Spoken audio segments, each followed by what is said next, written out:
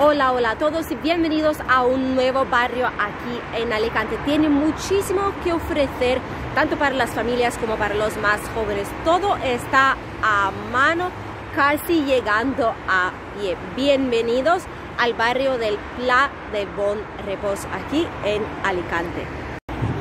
Y hoy empezaremos nuestro camino justo aquí cerquita del centro comercial que estaba a nuestra derecha, que es Plaza Mar 2 muy conocido y popular aquí. Justo enfrente se encuentra este barrio que tiene un nombre muy muy largo, pero también se conoce simplemente como el Pla. Como veis, enfrente se ve el mar, está el antiguo barrio también Raval Roig. Justo al lado se encuentra también las Carolinas Bajas, Carolinas Altas y Parque de Avenidas todo está muy cerquita y este barrio tiene muchísimas, muchísimas cosas que ofrecer. Como ya he comentado, es un barrio puro estilo residencial, hay gente mayor, familias jóvenes, con, sin niños, parejas, eh, muchísima gente elige este barrio para vivir. Este es el edificio más emblemático, más famoso, yo lo llamo la pirámide porque se parece muchísimo y desde aquí empezaremos nuestro recorrido. Cerquita hay también gasolineras, las carreteras principales para comunicarnos con otros barrios para llegar lo más rápido posible a los hospitales, a la autopista de Alicante en dirección, digamos, Valencia o más al sur para coger la autopista de Madrid. Hay comunicación bastante, bastante buena. Y justo aquí también se puede coger los autobuses, hay diferentes paradas muy cerca una de la otra. También al límite de este barrio, al límite con Raval Roig, justo al lado donde empieza el castillo de Santa Bárbara, lo veréis ahora en la pantalla, se puede encontrar la parada de tranvía. Por lo tanto, hay varios métodos de movilidad en esta preciosa zona que tiene muchísimos árboles verdes, plazas para descansar, parques infantiles para niños, también tiene centros comerciales, hospitales públicos y privados, centros de salud, obviamente tiene también Mercadona, Lidl cerca, diferentes locales para tomar algo, muchísimos negocios, bancos, correos, se puede seguir así hasta el final porque la lista es realmente infinita. Vamos a subir estos escalones que va a ser bastante, bastante complicado porque son muchísimos. Uh, y vamos a adentrarnos dentro del barrio como tal. Por cierto, mirad qué bonito, estamos en invierno y hay, hay muchísimas flores y plantas floreciendo ahora mismo. Realmente no parece que estemos en invierno, parece más primavera o verano justo ahí enfrente donde veis el edificio con tantos grafitis. Esto es un centro de formación para adultos. Mirad qué preciosidad. Esto es un centro de formación para los adultos también que está funcionando, está totalmente operativo, por lo tanto se puede ir aquí para obtener pues la formación que no se haya podido en su momento. Por cierto, en este barrio también se encuentra el museo, casi uno de los más famosos aquí en Alicante, que es el MARC, es Museo Arqueológico de Alicante. Es un sitio estupendo que os recomiendo 100% para eh, verlo cuando volváis, cuando vayáis aquí a Alicante, ya sea como turistas o para vivir. Nosotros fuimos un par de veces con nuestra hija y es precioso, es muy interactivo, intuitivo, puedes ver muchísimas cosas de toda la historia eh, y realmente es algo muy pero que muy entretenido y merece muchísimo la pena visitar las exposiciones que ofrecen. Aparte del museo también hay una pista, yo la llamo pista de atletismo, eh, se llama Montemar, me parece Club Atlético Montemar, también hay eh, pista de baloncesto para jugar a fútbol, incluso cubierta para niños, por lo tanto es algo muy bueno si queréis involucrar a vuestros hijos en algún deporte. Por lo demás, es un barrio residencial tranquilo donde los haya. Mirad, hay muchísimas callecitas así, con escalones, diferentes casas. Hay casas más reformadas, casitas más antiguas, pero por, por lo general no es un barrio malo. Como veis, casas tienen bastante, bastante buena estructura, no tienen tanto moho. Sí que es cierto que en algunos sitios pues hay, hay sitios un poco más estrechitos que no pasa mucho el sol pero por lo demás son pisos de bastante, bastante buena calidad y no son tan tan caros como pueden ser en otros barrios. Aquí os voy a comentar y os voy a poner en la pantallita. Hay eh, pisos, he encontrado desde 500 euros pisos de dos dormitorios. Solo uno había por 475 y era de tres dormitorios. Todos los demás en este precio eran de dos. También desde 550 euros he visto un de tres dormitorios. He encontrado uno por 550 de cuatro dormitorios, pero era como en diferencia de otros, más de cuatro dormitorios por este precio no existía. Hay un único piso de un dormitorio aquí por 600 euros, pero está reformado, estilo neoyorquino tipo loft, todo abierto de dos plantas. Lo podéis ver aquí también en la pantalla. Eh, y por lo demás, lo que he visto la mayoría son de dos habitaciones o de tres, lo que se ofrece aquí en el barrio. Tampoco hay tantos en los portales que yo suelo encontrar, que es Idealista, Fotocasa, ya encontré um, en alquiler, que suelen ser los que ponen anuncios de alquiler de los pisos. Solo había unos 17, 18 para todo este barrio, por lo tanto no hay tanta, tanta oferta como puede ser de ahí que los precios no son de los más económicos. Y mirad, ahora salimos a una de las calles más así transitadas por los coches. Esta es la pista que os he estado comentando, que está cubierta totalmente.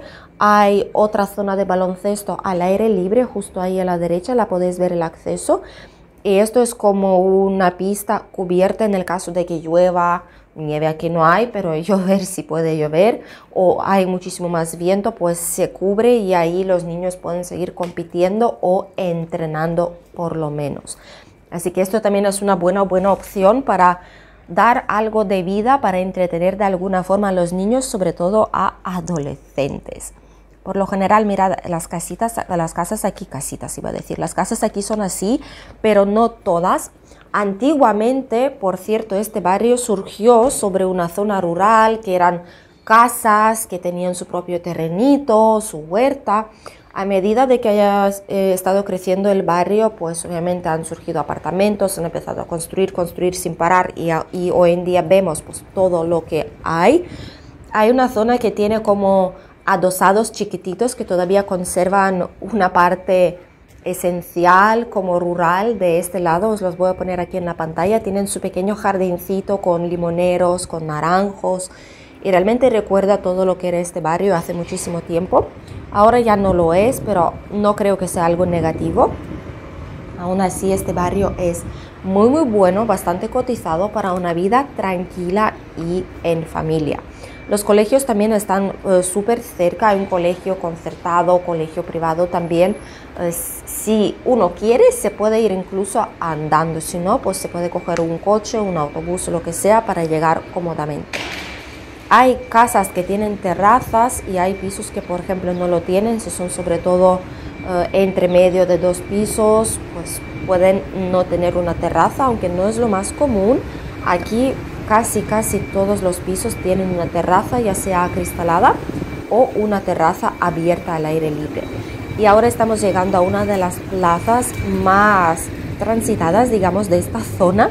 Aquí ya empezamos a ver pues, más negocios, peluquerías, centros de estética, una autoescuela, parecitos, cafeterías, eh, donde se puede pues, sentar uno, tomar algo, supermercados, y a mí me encanta realmente plazas así icónicas, mm, naturales, donde se puede ver cómo realmente es la vida en este barrio, gente sentada o gente mayor, con niños, descansando, disfrutando del buen tiempo que hace aquí, niños jugando, la gente pasando con los perros, saliendo a correr.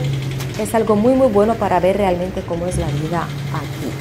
Como ya he comentado, hay de todo hay tiendas de cocina de electrodomésticos, um, supermercados como normales a los que estamos acostumbrados, Mercadona, Lidl, y tales como fruterías y verdurerías de toda la vida de aquí, de la zona. También algunas agencias inmobiliarias como no. No voy a enseñaros la uh, parte del parque infantil porque hay niños ahí y no se permite grabar a los niños eh, por la protección pero os voy a enseñar los banquitos que hay para sentarse. Mirad, son más o menos banquitos así, Eh, la gente se sienta en la sombrita, sobre todo en verano, en la sombra de los árboles a descansar y luego seguir su ruta habitual. Y justo aquí empieza el edificio antiguo. Este fue el edificio antiguo del Hospital Provincial eh, y justamente en ese edificio se ubicó después, eh, hace ya unos cuantos añitos, se ubicó el Museo Arqueológico de Alicante que os he estado comentando. Eh, todavía hay una zona que se utiliza como centro de salud. por cierto, por el otro lado, el lado contrario, sí que hay una entrada que pone que es un centro de salud para las consultas, para pruebas, pues, todo lo que sea necesario. También se hacen las pruebas PCR ahí, consulta de los médicos y especialistas. Así que sigue funcionando una parte como tal, pero la mayor parte de este edificio ha sido entregada a este famoso museo aquí en la zona. A mí me encanta, de verdad os recomiendo visitarlo porque es algo único, es una experiencia única. Y justo aquí al lado del museo pues hay cafeterías típicas, chiquititas de toda la vida. Mirad aquí por ejemplo un bocata más bebida más café son 7 euros. A ver, dependiendo de cómo sea el bocadillo, ¿de acuerdo? Porque si es chiquitín, igual es un poco excesivo, pero si no, puede ser un buen precio. Otros abogados, inmobiliarias, por ejemplo, aquí también, eh, abogados también laborales, fiscales, de lo que sea.